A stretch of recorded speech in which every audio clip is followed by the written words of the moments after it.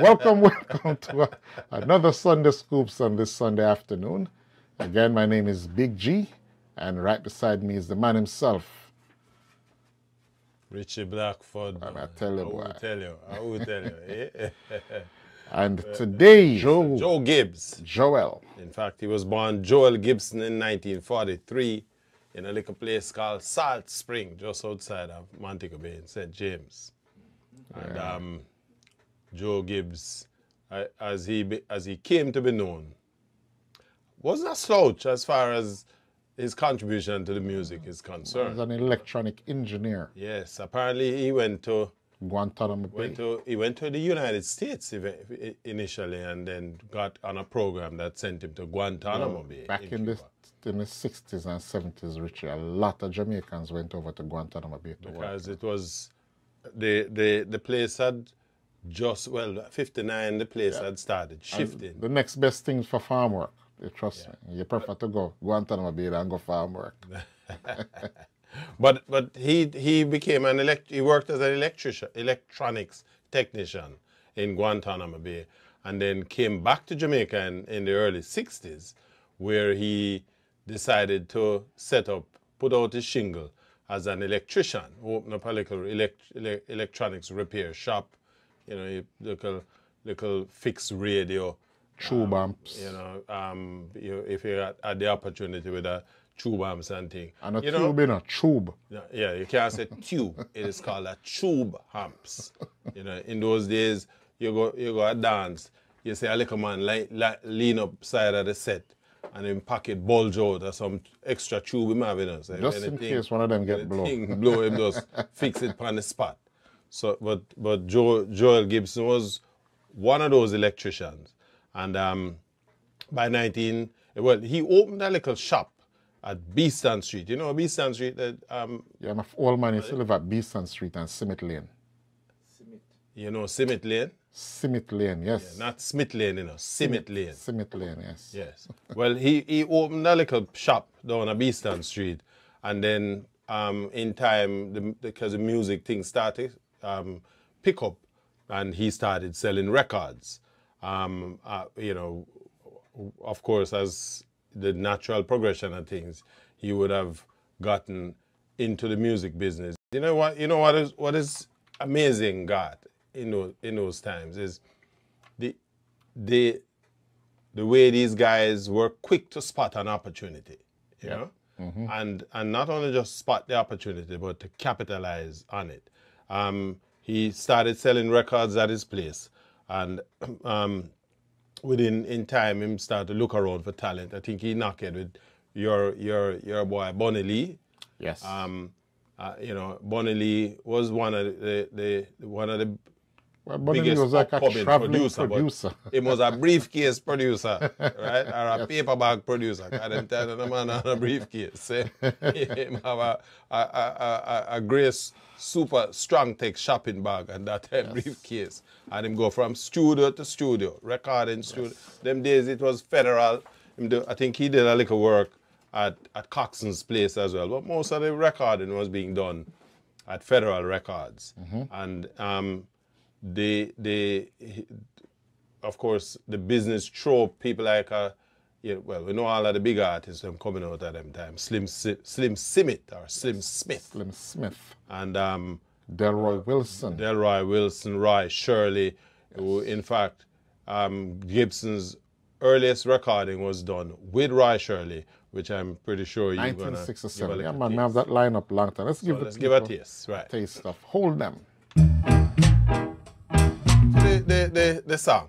Um, Roy Shirley, this was a big hit for him in Jamaica. And um, I think Joe Gibbs, according to the scribes, uses connections with, with um, Bunny Lee, who basically knew his way around the place. And I think by the time RJR had kind of started shifting into, you know, as a commercial radio station, was becoming a little bit more attuned to the mu- music that was coming out. And um, I think Bonnie co- connected with Jeff Barnes at the time, and um, that, that helped them push the tune. It was a it was a staple on the radio, as you said earlier. You know, everybody know every single line of this song. And I think, um, you know, because the song was so popular, there was a, a point at which Roy Shirley did a couple of variations of the song. In fact, he even he even did a festival song yes. with the same beat. Yes, yes. Just to give you an, an indication. The song also they took it. If it ain't broke, don't fix it. No, I, I, you can't blame him for that at all. He also the song was also released in England on um, Graeme Goodall's the the Dr. Bird label. And if you know much about the thing, uh, there was a Dr. Bird um, club in in the Clock Tower Plaza in Half a Tree, where he used to have the Dr. Bird uh, Music Awards and so on. So just you know, just taking listeners back a little bit there. He um, Bunny Lee also introduced introduced um, to Joe, Gibb, Joe Gibbs, a man, a little young boy, um, Errol Dunkley.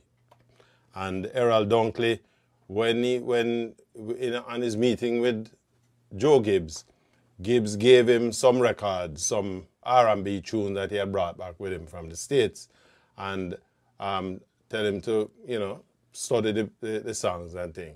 Well, Dunkley came and he did his earliest recording with Joe Gibbs, and I'm pretty sure you have that lined up on the turntable. Please stop your lying, girl. There you go. See a long time man have woman problem now, Richie. Long time, 60s. Let's give a listen to Errol Dunkley and his his um his first, first recording. outing. Please stop your lying, girl. Yes. Why, I've just been schooled and I'm not, not afraid for say when me wrong. I played the wrong long shot song because apparently yeah. there's two of them. You have yeah. long shot, kick the yeah, bucket. Long shot, bust which the was done with right. uh, Beverly's and, and so I'm not afraid for tech schooling because that's how you learn. Well, nothing wrong with that. That's what? why we work. That's why we do this thing together. There you go. There you go. Uh, these guys think about is gambling and food. Yeah, but you can't blame them, God. In them days, you know, Listen, on a Saturday, the 1960s. From then till now, yeah. On a Saturday afternoon, you go to any betting shop, trust me. No, it's not even Saturday afternoon. You used to start from early in the morning because you used to have English racing.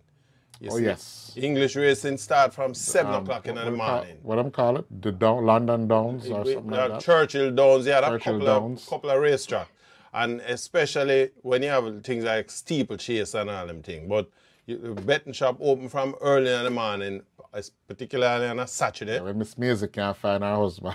you should know if you go by a betting shop and him gamble out the pay where him get last night. Right? And then by the time English racing close off by midday, and Cayman, Cayman, Caymanas Park, Caymanas Park racing open up now. And that and then all of the real gambling go on. Because most man get a little prips from the jockey, you know, by by number or the, six the in trainer. the race. Or right? the trainer. No, the, the trainer no run thing, you know, jockey run the, run the uh, track. Them, the jockey carry battery. and, and not only that, they make arrangement with each other who gonna win and then bet cross betting and all them things. But that was the, uh, the the feature of the period. Remember to 1960s, you know, only for television. I think by that time, um, JBC must have just started to try a thing with TV, sign on about about six o'clock in the evening, and by ten o'clock it sign off back again. Mm-hmm. You know, mm-hmm. only for programming. But um, th- that was the the, the a feature of the period. Now the long shot race, long shot Boston bed. Long shot was what you call a, a journeyman horse. Occasionally him win, but him always in the frame, you know. Mm-hmm. If, they, if no win second and third. So you can always buy a perm bet, which include long shot, right? A perm bet is he might come second, or you can or mix it up with somebody, win and place. Or, you know, you buy a long shot for win or place. And if him come second or third, you get a little something for your money. So long shot was one of them journeyman horse. And then this particular day, long shot run out of the frame and every man, I have some man buy all some round the clock bet, you know, with eight horses in the, in, in, on the bet. And how them buy the bet is that them put Longshot as a horse so them know must place. So if Longshot not place and all of the other horse them come in, the bet they dead. And Longshot this time never come first, second, nor third. Longshot finished way down the frame. But outside of that, Longshot was a horse uh, running depend some on. 200 and odd races at Caymanas Park. I think he ran 203 races at Caymanas Park. And he finished within the frame in about 90% of them. So I think it was a, a G or a F class horse, if I remember correctly. And then what happened now, the, the song you played earlier, which was actually done by the pioneers for um, Kong at Beverly's, was when Longshot dropped down and dead on the track. Longshot a run his final race, his 200 Run out. race. And then he come around the corner, one, uh, the horse in front, the horse that was in front fell down. I hear him say, um, whatever the horse name fell, and then Longshot fell and broke him neck. That, that was it. Wow. So, but that was the story with, with Longshot. Again, the pioneers made a, a big, well, those those songs were a big part of what enhanced their careers, uh, to the extent that those, those records they, they were able to tour on those records, went to England, in fact, and um, you know established themselves as as a a, a significant um, group. In fact, when they were doing the recording at at um, Joe Gibbs, the first record, Longshot, Boss Me Bet, it was only two of them, and they, they, they needed a third guy as to sort of harmonize. And they found this little youngster who was sitting outside the studio, and I say, "You can't sing?" And he say, "Yes, boss, we can sing, man." I say, "Well, m- let me sing, let me hear you." And the youth must have bust a little tune, and him- I can't remember his name now. But it brought him into the group, and he became the third. But before the show is out, I'll tell you, we'll remind what his name his name was. But that is um, Joe Gibbs getting started. Now he also had in his camp Lee Scratch Perry. Perry had just recently had a falling out with Coxsone, who he had literally grown up with Coxsone. He started out as a boxman, the, the, the sound system box, hook up the sound, run the wires and thing, and then eventually he started to help out in the studio. But Coxsone wouldn't a pay them enough money, and you know him and Coxsone followed. Plus, he felt himself to be a singer, and that he had you know a better ability to contribute to the, the music. But Coxsone wouldn't give him a break, and so he cussed off Coxsone and leave, and he joined um, Joe Gibbs, and of course he was sort of a kind of a talent spotter for for for, for Joe Gibbs, in as in as much as he fancied himself as a singer and put out a couple of tunes. Um, in fact, he, he put out a tune that was kind of directed at um, at Coxsone Dad, a tune called "I Am the Upsetter," and um, the the you know things went well for a while, and then um, of course himself and Joe Gibbs again Fell out. fell out. And them say it's like a marriage, you know. If a man married more than one, more than two times, right? And him a third marriage, and the wife had the problem in her. Must you, because you are the common element in the equation. And so the fact that Perry seemed to be all over the place with everybody. Thing. But anyway, he um he did some work with with um, Joe Gibbs, and again, as I said, they fell out over money. And he when he, Parted ways. he he part they parted ways, and um, he put out a tune which was really a, a job. It was one of the first what you call tracing tune, a tune called People Funny Boy, and of course Joe Gibbs him back with a tune called People, Grudgeful, Grudgeful. Boy, and those tunes, as I said, started the the the kind of back and forth tracing between artists and whatever. And I'm pretty sure so, yeah. you'll give us a little taste. Give out a taste of I Am the Upsetter because we're coming up on a break and then I'll play People Funny Boy and then People Grudgeful. To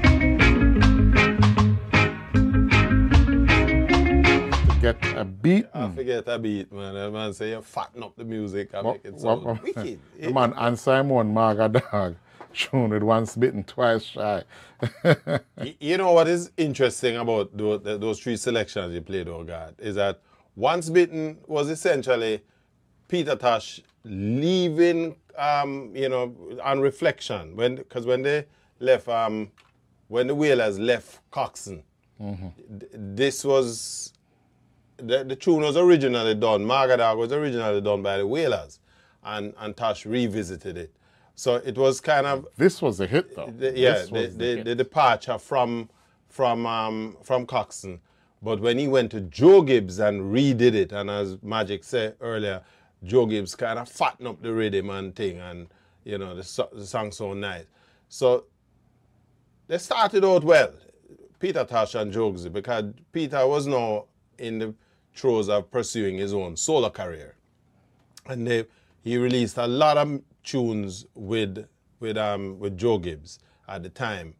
But I guess the same malady that affected all the producers in the record business in Jamaica from from Jump Street. f- f- a- absolutely you you know Coxsone all of them even Prince Buster who had left same kind of situation the artists and them started to fall out and this is after um, Gibbs had produced a number of big tunes um, with Peter Tosh and money problem, and Peter Tosh decided to walk. And of course, the once bitten, twice shy tune. Um, Maga Dog was kind of a throwaway back at, at Coxsone, but once bitten was the him saying it happened to me already at Coxsone and I'm not going to allow it to, to happen to him with with another producer. And he would now basically go go out and, and create his own record label. Intel Diplo, I think, was the was the the, the product of this um, um, experience he had with Joe Gibbs. And Joe Gibbs would have lost one of the best artists that would have come in his in his in his orbit. And um, again, it's just kind of nonsensical that as a producer, you're making money off of the tune. Why not keep the, the artist happy? But such is the this the, the was the status quo in the music business at the time. And of course, you know, the artists who knew better, and Peter Tosh certainly was one of those, he decided to go about his business. Um, interestingly, at the time, to Gibbs had formed um, because by now he is growing. Attracting some of the top uh, know, musicians the attracting top musicians And fact, artists. They had moved the studio from downtown because they had kind of they had changed the address from Beeston Street, um, moved closer to Orange Street initially, and then eventually they um, they found a place at Retirement Road. Retirement Road was kind of developing as a sort of sub-commercial 'cause district. It's near to Brentford Road. Right, and they they um, established the studio there, and at the time to Gibbs formed an alliance with Errol Thompson, who was a, a engineer of some repute, and um, they now would take the up the ante as far as the music was concerned. In fact, during the with the departure of Scratch Perry, they Comes it was Niney The Observer. Niney the Observer. Well, at the time it was Niney. Later on, they would They call, him Niney the Observer. I think the Observer I think would have come through his association with with Bunny Lee. But um, Niney became the the A&R man, if you will, and also was the man who did the, the, the studio work in terms of the arranging of the songs and so on and so forth. But didn't Um, he have also a setup on uh, South Parade? it- that's what he moved from Beeston Street to South Parade, which was kind of um, just Closer around the, the corner hub. from Orange Street. Closer to the hub. Right, and that, because as you go around the corner, there was Randy's over on the other side, and then you go up the road where you have um, Riley, the, the techniques put up their shop. Right, and then yeah, Prince um, Buster Prince up the Buster road. down the corner. And, Yep, yep. And, and you go all the way up. But um, they, they relationship with Errol Thompson came after they moved the studio um, from North Parade and up to, to Retirement Road. Um, should point out to Crossroads. right that Joe Gibbs had also done um, a couple of other recordings, it, not not very note. Um, they, they did some work with with Heptones, but it was Peter Tosh that was the the big one. And then the when he formed the alliance with Errol Thompson, they called himself the Mighty Two. That now changed the way, or because Errol trajectory Thompson of his in- business. absolutely, because Errol Thompson introduced his own little gymnastics within the in the studio that would change the sound, you know, f- to use magic magic term, him saying fatten up the rhythm and, and and thing. And then um, Errol Thompson introduced a couple of artists to to to um, Joe Gibbs. One of them was Dennis Emmanuel Brown.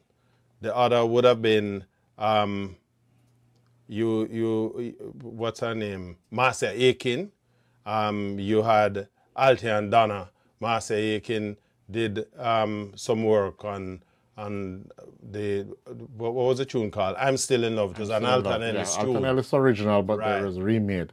And, But- and in fact, that that Alton Ellis tune was a source of of a copyright thing infringement on the part of Gibbs, which he never learned from, and we will talk about that as you get closer. Before, you're- before that, though, Richie, he did some some work with uh, a gentleman, Nicky Thomas, Oh, and yeah. also Eric Donaldson, a love of the common people. Yes. As a matter of fact, he had both Nicky Thomas and, and, and uh, Eric Donaldson voice the same song, Love of the Common People. and he released Eric Donald's ver- and then version. Nicky Thomas, Have a Little Faith, and If I Had a Hammer. Those were songs that were big, big foundation songs in the early. Those are what you call jukebox songs. Jukebox song. Yeah. They Along with get- Maga Dog. Yeah. They were never really big on the radio, but if you listen to jukebox back in the day, that's the kind of song you're going to hear, especially this one from Eric Donaldson.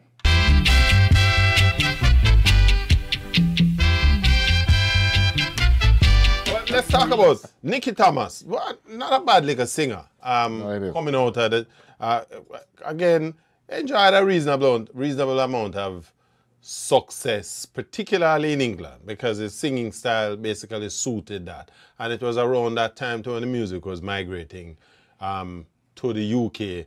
So he spent a fair amount of time, did did over, you know, as we call him, a lick over um, a, a lick over tune, but I didn't think he um, gave a, a, a bad account of himself. And, um, you know, his catalog, not big, but a lot of what you call journeyman tunes that they have done well. Eric Donaldson and um, that particular effort, after that, he became, he Mr. entered the Festival. festival thing. Cherry Your Baby, with Cherry- 1971. Right. And he basically just toured on the festival. In fact, they basically gave him the festival crown and retired after that because I think he win about 40 times after that. No, fresh out of out of Studio One was Dennis Emmanuel Brown. And um, first song was Money in My Pocket with Big Youth. That was the song. And that was with Errol Thompson was now. Um, the man behind the, the wheels. so let's let's let's give the listeners a touch off of Money in My Pocket.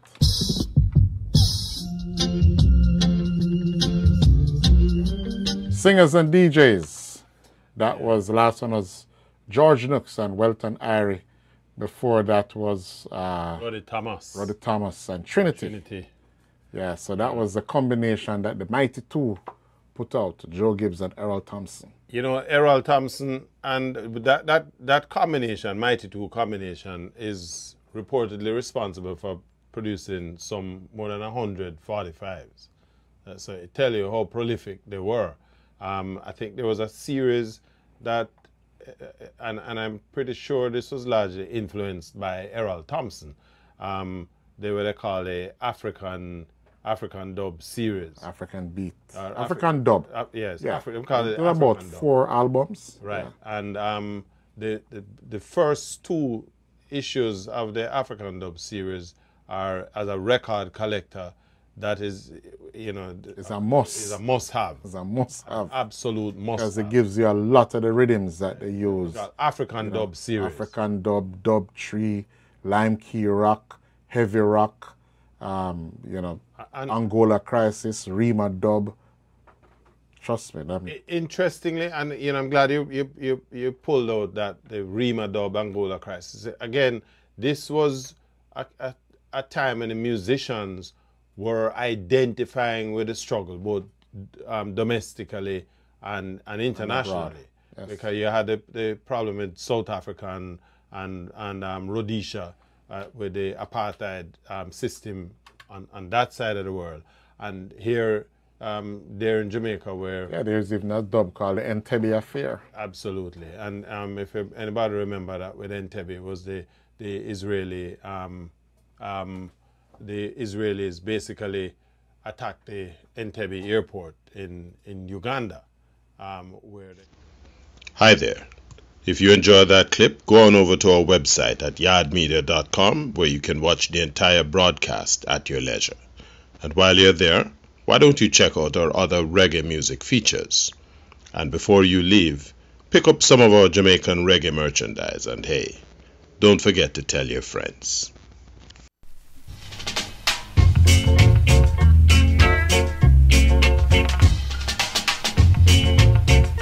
My name is Garth, otherwise known as Big G. My name is Richie Blackford.